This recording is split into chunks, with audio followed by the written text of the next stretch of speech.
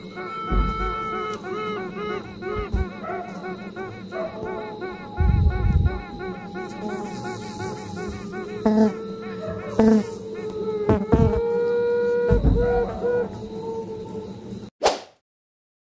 عليكم ورحمة الله وبركاته. أخوي النحالين في جميع أنحاء العالم وفي الوطن العربي وفي اليمن خاصة. أرحب بكم أجمل ترحيب في قناتكم قناة الجابر والنحل القناة التعليمية. حتى ينتج النحل الأساسات بشكله آه، العام.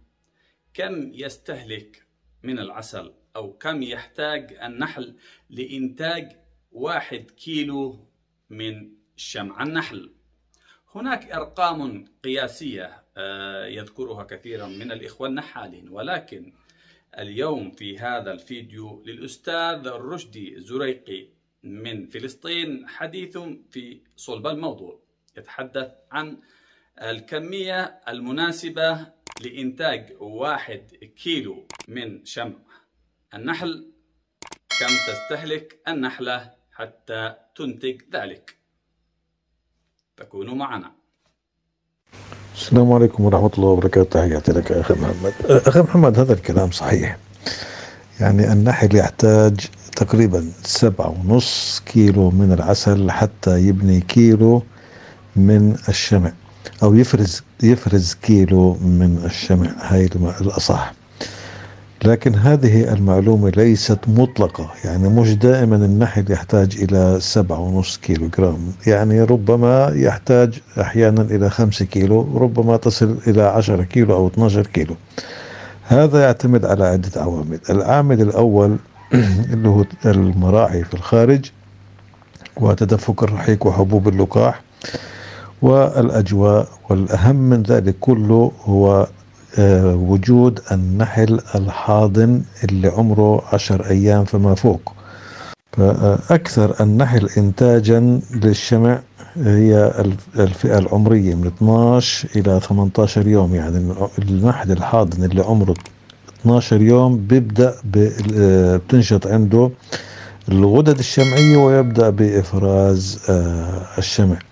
فكلما كان في عندنا عدد أكبر من النحل الحاضن اللي في هذا العمر كل ما كان البناء الشمعي أسرع وأسهل. لكن هل يبني النحل الكبير شمع يعني لو كنا لو جبنا مثلا آه، خلية وكل النحل اللي فيها نحل سارح. هل يبني شمع؟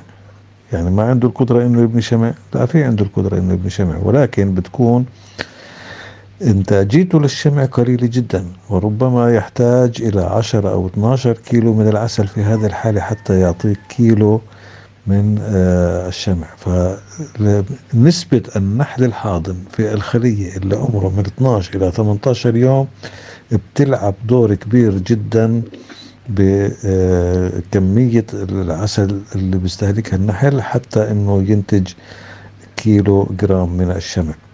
وأمر آخر أخي الكريم والإخوان جميعا أنه في هناك تفاوت في السلالات في قدرة على إنتاج الشمع. بعض السلالات قد تجدها بناءة بشكل سريع جدا للشمع وبعض السلالات يعني بطيئة جدا في إنتاج الشمع. فالسلالي والحضنة أو في السلالي والنحل الحاضن آه، بتلعب دور كبير جدا في كمية العسل اللي يحتاجها النحل في بناء في البناء الشمعي. فلماذا يحتاج النحل للعسل للبناء الشمعي؟ لأنه الشمع يخرج من الغدد الشمعية والغدد الشمعية الموجودة في أسفل البطن عبارة عن يعني ثمان آه، غدد شمعية موجودة يعني أربع أزواج من الغدد الشمعية موجودة في بطن النحل في بطن النحلة ما بين الحلقات الأخيرة في جسم النحلة أو في بطن النحلة. فمن هنا تخرج كل آه، غدة شمعية بتخرج رقيقة شمعية. بمجرد بتكون شكلها شفاف آه، زي الماء. ولكن بمجرد ملامستها للهواء تتصلب هذه آه، الرقائق الشمعية وينقلها النحل بأرجله بطريقة ما, ما إلى الفم ثم يضيف عليها اللعاب ويضيف عليها ممكن يعجنها بحبوب لقاح أو ممكن بمواد أخرى. ويرفع درجتها درجة حرارتها إلى درجة 42 أو 43 حتى تكون سهلة على النحل في عملية البناء. فهذه العملية تحتاج لأنه بده يرفع درجة حرارة الشمع.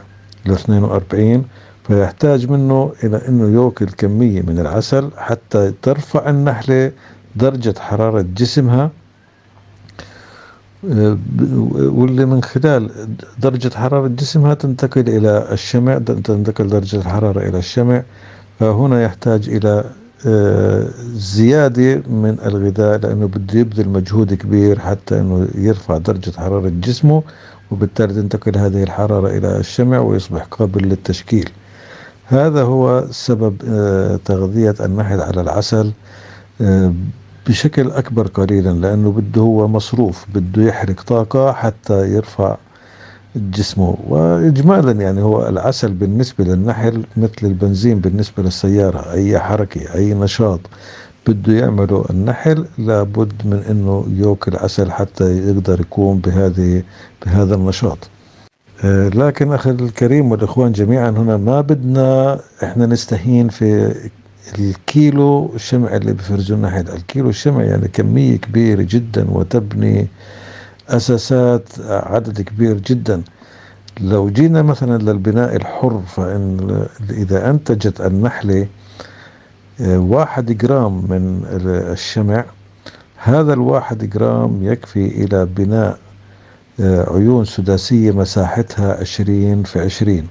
وهذه مساحة العشرين في عشرين بتكون قادرة على أنها تحمل واحد كيلو جرام من العسل. فشوف يعني جرام واحد بده يحمل كيلو.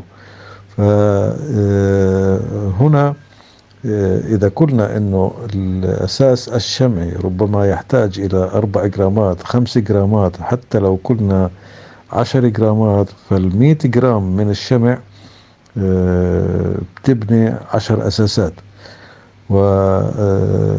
والكيلو في هذه الحالة يعني بدها تكون ممكن تبني تقريبا يعني 100 إطار من الأساسات. وهذا العدد يعني عدد لا يستهان به. يعني مش كل يوم الواحد بيضيف أساسات ولا طول السنة هو يضيف أساسات. هي فترة محددة وتنتهي عملية آه، إضافة الأساسات. حتى لو آه، أنه النحل يعني بده يبني بناء حر مش راح تزيد يعني طول آه، خلينا نقول مساحة البناء الشمعي عن مساحة الأساس أو الكمية اللي ربما يستهلكها آه، أو إذا احتاج عفوا النحل في بناء آه، إطار شمعي بناء حر برضه مش راح تكون أكثر من أربعة إلى خمس جرامات يعني حتى لو وصلت إلى سبعة أو ثمانية يعني مش راح تكون الفرقية يعني إذا كانت الأساس الشمعي يحتاج إلى نحط أرقام فرضية أنه يحتاج إلى ست جرامات من الشمع. فالبناء الحر ممكن أنه يحتاج مثلا آه، ثمان جرامات من آه، الشمع اللي بينتجه النحل. ولذلك يعني الرقم اللي أنت يعني قرأته أو اللي أنت سمعت فيه ورقم طبيعي جدا لأنه مش رح يبني يعني مهما أضفنا للخلية من الإطارات الشمعية مش رح يفرز كيلو شمع تحت كل الأحوال مش رح يفرز كيلو من آه، الشمع. ربما تحتاج الخلية إلى 100 جرام أو 200 جرام آه، لحتى الخلية اللي بدنا نضيف لها كميات كبيرة. من الأساسات ممكن تحتاج إلى 100 جرام أو 200 جرام 150 جرام وهكذا. فبصير الاستهلاك من العسل أو من التغذية ممكن نعوضه بالتغذية استهلاك مش كبير. تحياتي لك وللجميع.